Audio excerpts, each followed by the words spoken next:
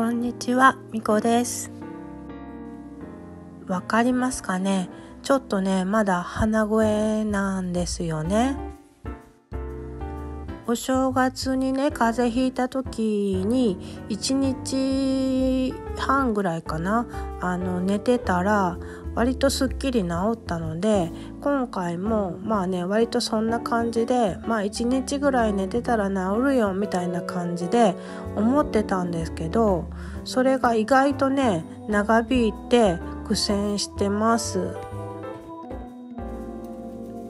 マジでね熱の高かった2日間ぐらいはもう家事全くできなかったので夜の洗い物とかはねえーとまあ、旦那さんがしてくれてでお風呂もなんかもう入らずにそのまま寝るみたいな感じで、えー、とやってたんですけど、まあ、ちょっと熱が下がってね、あの、えー、と咳と鼻水は残ってるけど、まあ、ちょっと体のだるさもちょっと落ち着いてきたのでねぼちぼち、あの起きてねあの通常営業に体を慣らしていかないとっていうことで今日は、えーと、台所のお片付けをしながらちょっとね近況報告したいと思います。えっとあの前回言ってたねあのところね結局ね決まったんですね。えーと、コールセンターに、えー、とりあえず3ヶ月ぐらい、えーと、勤めることが決まってでそこのね研修に行きかけたちょうどその時だったんですよね。風邪ひいちゃったのがね。だから研修の、えーと、初日ね初日の朝になんとなくねなんか、うん、もう着替えたりメイクしたりしてあの洗濯物干そうかなって思った瞬間になんかねあの今までね50何年生きているからまあ風邪のひき始めってなんとなくもうね分かりきってるんだけどなんか今まで初めてっていうかねなんか両肩に自爆霊乗っかったんかなっていうぐらいもう肩がズーンとなってなんか洗濯物を干すために手を上げることができないみたいな感じになってなんだこれってなっていやめっちゃなんか肩ズーンとくるやんと思って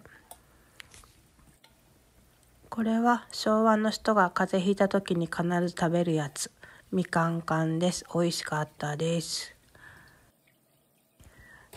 それでねなんかもうほんと洗濯物干せれなくなってとりあえずとりあえずちょっと寝ようと思って30分ぐらいねなんかソファーで寝たんですよね。めあのアラームかけて。で起きてなんかなんかいつもと調子なんか違うなと思ってそれでもまだ風邪だと気づかないっていうね。それで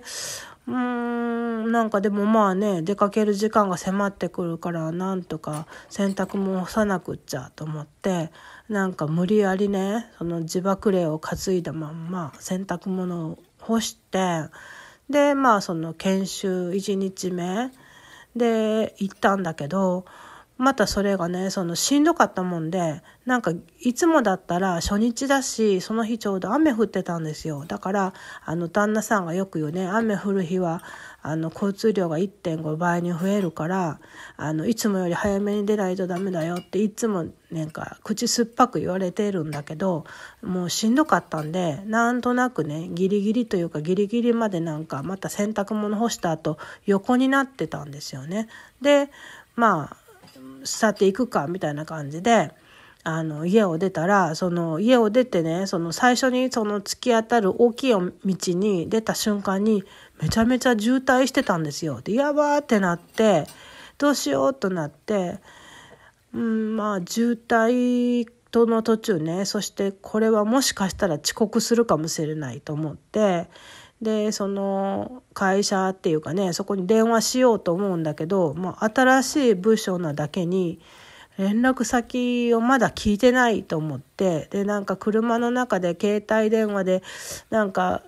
しどこかわかるかなと思ってごそごそ調べたりするんだけどなんかね、まあ、肩に自爆霊乗ってるせいかあんまり頭が回んなくってなんか「えー、電話番号もわかんないしもういいや」と思って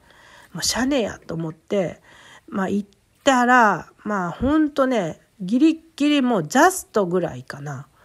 もうジャスト9時から始まりますっていう研修の9時になんか、はぁ、はぁ、みたいな感じで走って駆けつけるみたいな感じにちょっとなって、やっぱりね、こういう時は旦那の言うことをちゃんと聞いとかないといけないなっていうね、めちゃめちゃすごい反省しましたけど、でね、えーとまあ、研修が始まるわけなんですけど研修が始まったぐらいからねなんか喉喉がめっちゃイガイガして喉痛ってなったんですよ。でそこでこれもしかして私風邪ひかけてるってねやっと分かってまあでもとりあえず研修ね1日目受けないといけないから一生懸命まあ受けてってで、まあその日はね、ただその、まあ自爆霊はね、研修中は割とおとなしかったんですよ。で、まあ喉がとにかくなんかすごいイガイガするな、みたいなね。で、それで研修受けて終わって、家に帰ってきて、で、帰ってきたあたりからね、なんかだんだんとね、なんかちょっと、こう、よくあるね、風邪の症状、なんかゾクゾクするわとか、なんかちょっと熱あるんじゃないとか言ってなんか旦那さんにも言われて「いやそんなことないよ」みたいな感じでねなんかやり取りしててそれでなんか夜寝てね夜中ぐらいからちょっとやっぱりなんか熱出てきたんですよね。で